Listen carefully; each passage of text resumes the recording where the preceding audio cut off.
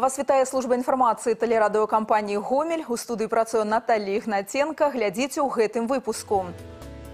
У гомельскай вобласці ад выплаты збору па дэкрэце нумар 3 у сувязі з цяжкай жыццёвай сітуацыяй вызваленыя больш як 500 чалавек. У медыцынскіх установах рэгіёна распачынаецца рэалізацыя праекта электронная рэгістратура. Афганістан памяць у фотаздымках. Унікальны выставачны праект адкрыўся ў музеі фота ў гомелі.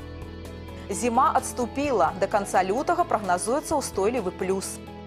І больш падрабязна аб гэтым і не толькі. Каля 13 тысяч чалавек вызвалілі ў гомельскай вобласці ад выплаты збору на фінансаванне дзяржаўных выдаткаў за 2015 год. Такія дадзеныя на 15 лютага прыводзіць абласная інспекцыя міністэрства па падатках і зборах. Большасць з ліку вызваленых ад выплаты збору людзей знаходзіліся ў пазамінулым годзе ў Беларусі менш як 183 дні.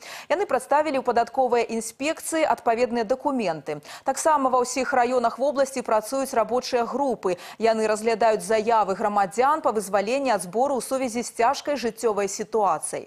Па гэтай прычыне ад выплат вызвалілі 518 чалавек, і гэта не апошняя лічба. Настасія Кучынская працягне тэму. Жыхарка гомельскага раёна Людміла Шалаева адна з тых, каго вызвалілі ад выплаты збору на фінансаванне дзяржаўных выдаткаў. У 2015 годзе яна не працавала, трэба было ратаваць блізкага чалавека. Муж э, получил инсульт тяжелейшей формы инсульт с кровоизлиянием, операции, долгая реабилитация. Ну, лежачий был временно. Так я не могла работать. Обратились мы в исполком.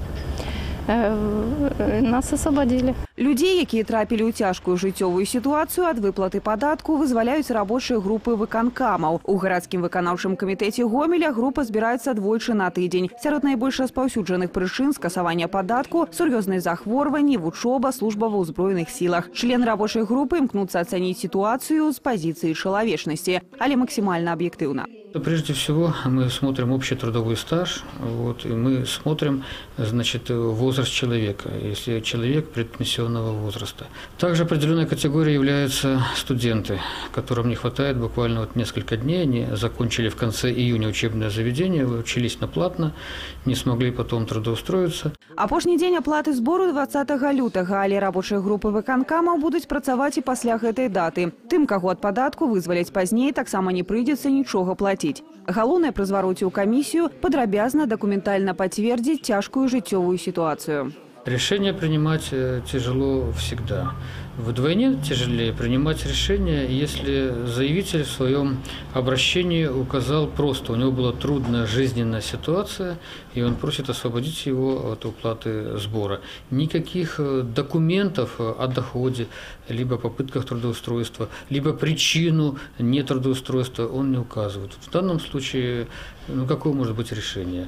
Атрымаць кансультацыю па пытаннях дэкрэта нумар 3 можна ў падатковых органах. Тут створаны спецыяльныя гарачыя лініі. Іх нумары можна знайсці на сайтах райвыканкамаў. Тэлефоны ў гомелі вы бачыце на сваіх экранах. У бліжэйшыя дні ў гомельскай вобласці на пытанні па дэкрэце нумар 3 гатовы адказаць таксама спецыялісты адміністрацыі прэзідэнта. Заўтра з 9 да 11.30 прыём грамадзян у рагачоўскім райвыканкаме правядзе першы намеснік кіраўніка адміністрацыі прэзідэнта Максім Рыжанкоў. У наступны чацвер 23 лютага ў гомельскім аблвыканкаме на пытанне адкажа начальнік галоўнага ўправлення па рабоце са зваротамі грамадзян і юрыдычных асоб адміністрацыі прэзідэнта Рыгор Шлык. На наступны дзень 24 лютага ён правядзе выязны прыём у будакашалёўскім райвыканкаме. Настасія Кучынская і гармарышчанка тэлерадыёкампанія Гомель.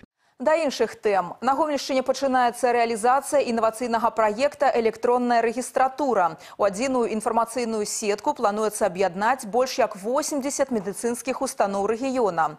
Плюсамі новай сістэмы пацікавіўся Олег Сенціроў. Інавацыйны праект, які не мае аналагаў у Беларусі, менавіта так можна назваць сістэму электронная рэгістратура, якая зараз укараняецца ў медыцынскіх установах Гомельскай вобласці. Ідэя належыць адміністрацыі абласной клінічнай бальніцы Неабходныя сродкі выдаткаваны з абласнога інавацыйнага фонду В одну інфармацыйную сістэму будуць аб'яднаныя 82 медыцынскія установы ад усіх цэнтральных раёнах і гомельскіх гарадскіх паліклінік да буйных амбулаторый, што дазволіць урачам на месцах аператыўна звяртацца за дапамогай да спецыялістаў абласной установы. В электронном э, формате формируется направление. А, К электронному этому направлению прикрепляются проведенные на этапе территориальной поликлиники либо районной больницы а, обследование лабораторное, инструментальное, проведенное лечение, поскольку это очень важный элемент а, в консультировании а, для того, чтобы не повторяться, и для того, чтобы оценить эффективность проведенного обследования лечения и предложить пациенту э, при необходимости другие схемы лечения, уточнение диагноза тычыцца пацыента, то ён атрымае спецыяльны штрых-код, па якім ужо ў гомелі трапіць да канкрэтнага ўрача. У гэтым месяцы ў абласной паліклініцы ўстанавілі спецыяльнае абсталяванне. Праўда, у людзей сталага ўзросту карыстанне ім пакуль выклікае пэўныя цяжкасці. На дапамогу прыходзіць адміністратор-кансультант. Если человек приезжает из деревни, вопросов очень много. Практически подходишь и пока будешь все, вожу все сама.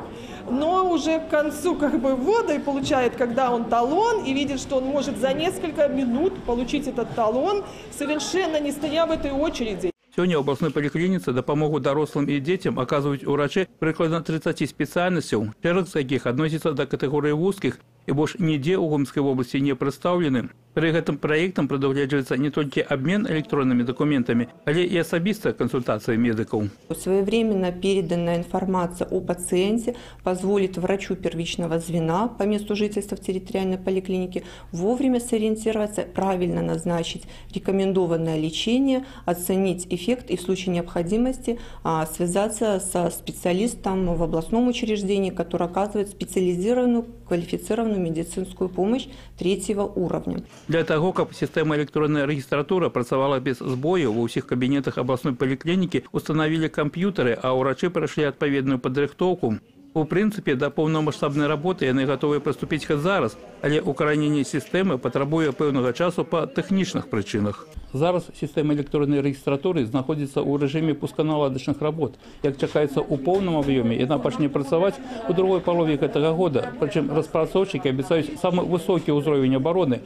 Ніхто, апрача ўрача, ніякай інфармацыі аб пацыенце даведацца не павінен. Олег Сенцяроў, Валерый Гапанько, тэлерадыокампанія «Гомель». Сярод абласных цэнтраў самыя нізкія цэны на жыллё ў гомелі. Аб гэтым сведчыць як статыстыка мінулага года, так і сёлетняя. У студзені сярэдні цэннік аднаго квадратнага метра складаў 567 долараў. Не нашмат даражэй жыллё абыходзіцца ў Віцебску і ў Магілёве. А вось у заходніх рэгіёнах краіны кошт на жыллё стартуе ад 700 долараў. І зразумела, самыя дарагія квадратныя метры аказаліся ў сталіцы звыш тысячы долараў. Для тых, хто мае патрэбу ў паляпшэнні жыллёвых умоў, цана ў гомелі за квадратны метр пачынаецца ад 325 долараў. Если брать сегодня анализ по 2016 году, то Гомельская область э, по э, статистике имеет самую низкую стоимость квадратного метра по всей республике. Э, Значит, что касается с господдержки, она составляет 647 рублей. Что касается значит, других с долевым участием, там и с бюджетом, где-то 747 рублей. Если конкретно касается долевого участия, то тут другая немножко тема.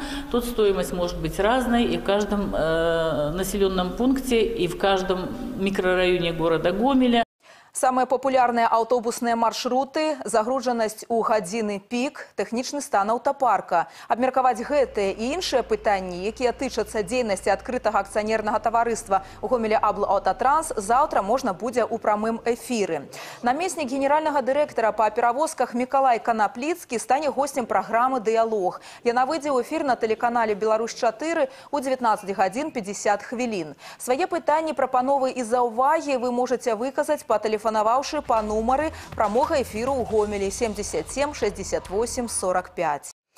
Мерапрыемствы, прысвечаныя дню памяці воінаў і інтэрнацыяналістаў, прайшлі не толькі ля мемарыялаў, але і ў школах. 25-я гомельская школа падышла да сустрэчы ганаровых гасцей з асаблівай увагай. Выстава мадэляў баявой тэхнікі, зробленых вучнямі, творчыя нумары вучняў і канцэрт ансамбля «Блокпост».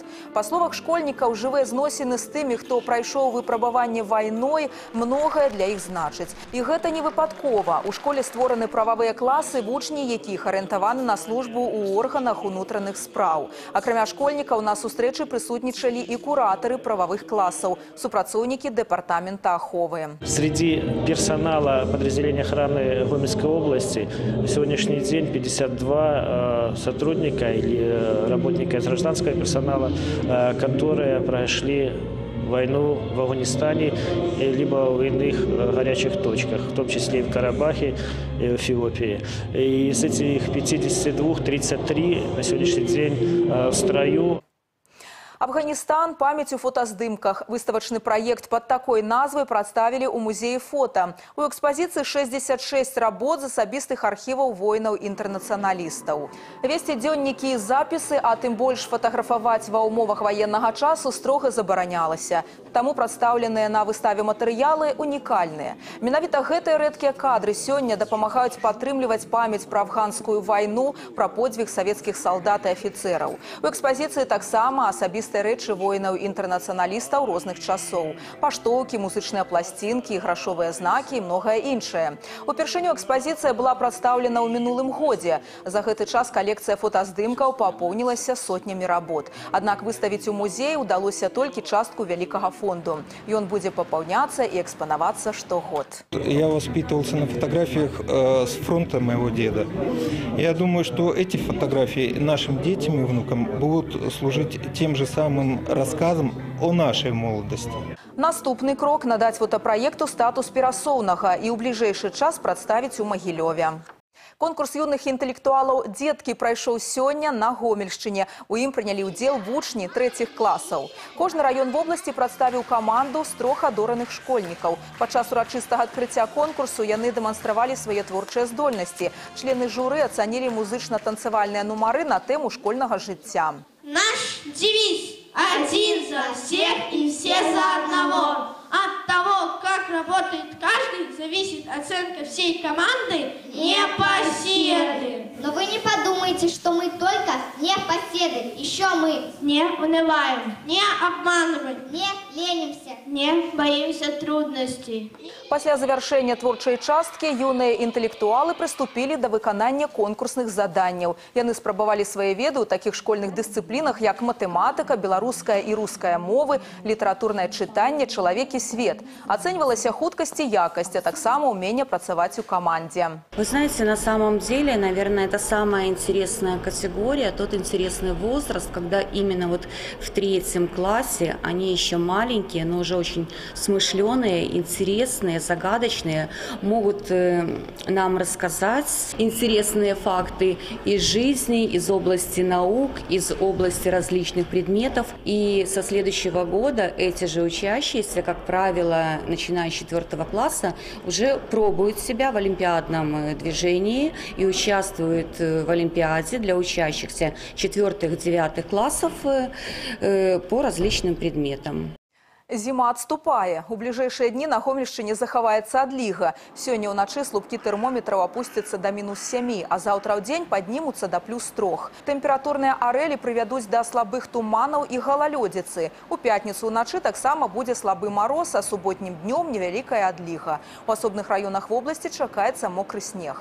Увогуле за бліжэйшыя выхадныя кліматычны фон стане яшчэ больш цёплым. Дзённыя тэмпературы складуць 4 градусы са знакам плюс. Уначы будзе каля минус двух. Приход весны мы почувствовали вот 14 февраля, когда дневная температура воздуха стала слабо положительной, достигла отметки чуть выше плюс 1 градуса. Климатическая весна обычно по традиции у нас это где-то третья декада февраля, начало первой декады марта. Это устойчивый переход среднесуточных температур через 0 градусов. В этом году мы тоже ожидаем, что где-то именно э, весна в нашем регионе будет соответствовать климатической весне с последним многолетним данным.